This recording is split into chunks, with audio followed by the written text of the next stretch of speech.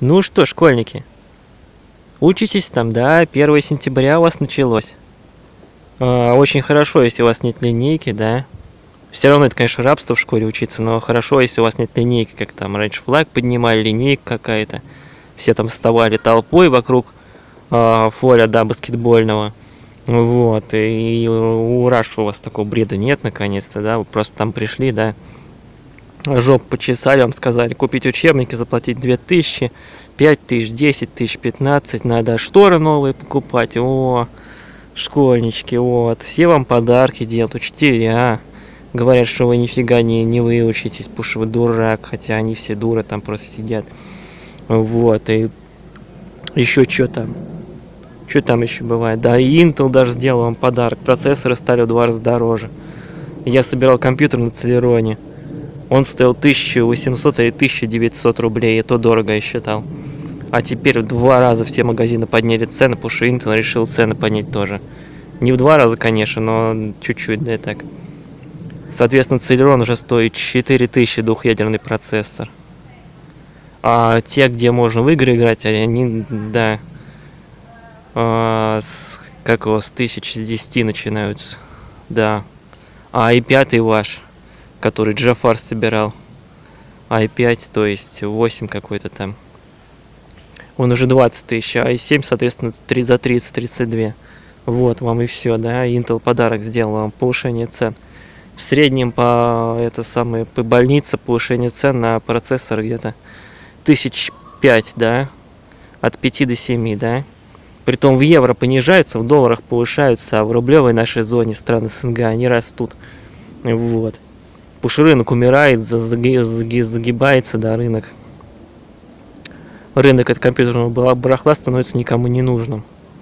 Все на планшетиках сидят, в телефончиках, а Android жмут там. Android местные IC, IC жмут, и компьютеры нахер никому не нужны даром. Только дотникам каким-то нужны компьютеры, да? Вот, вот такие дела. Так что учитесь, учитесь, учитесь там. Господа, да, не отлынивайте. Вас, конечно, обманывают там, что вы, если вы ничего не сдадите, вас это самое, да, исключат, да, с волчьим билетом выпустят. Они обязаны всех выучить, да, это обман, не ведитесь на этих, да. Ходить так же по мере способности. Я вообще полгода не ходил, мне все равно выпустили из этой школы и дали аттестат. Просто максимум, чего они могут, это тройк наставить. Все, вместо тех предметов будет в аттестате тройки, и все. Вот максимум, что могут учителя сделать эти вот эти ваши старые вонючие учителя. Вот и все. Но одни обязаны выпустить по любому случаю, иначе Грано штрафует, да, и директор премию не даст за вас, если вы двойку получите в четверти.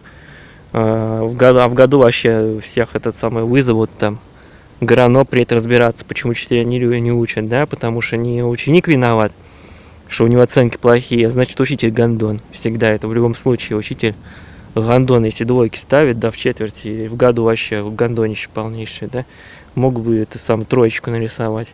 Вот, так что он троечку нарисует, там, не смотрите, да, только ходите, там, три раза пришел в четверти. Тройку там э, просто, да, пустое место, туда в журнал можно потом тройку поставить. Вот, вам подрисует, все у вас будет.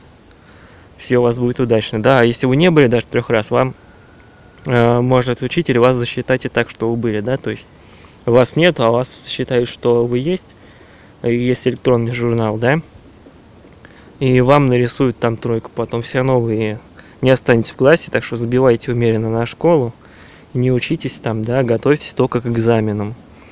Экзамены сейчас в девятом и в одиннадцатом классе, насколько я понимаю.